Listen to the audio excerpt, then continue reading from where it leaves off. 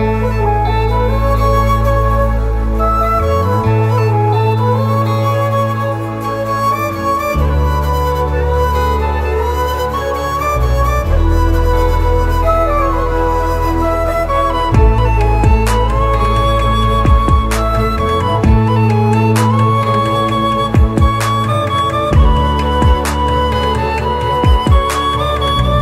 உலகத்துல இருக்கிற எல்லா ஜீவராசிகளுமே முதல்ல அவங்க அம்மா கிட்ட தானே எல்லா குறும்பத்தனத்தையும் காட்ட ஆரம்பிப்பாங்க. அந்த மாதிரிதான் இந்த வீடியோவும் நம்ம எல்லாரையுமே நிகழ்ச்சியில ஆழ்த்திருக்கு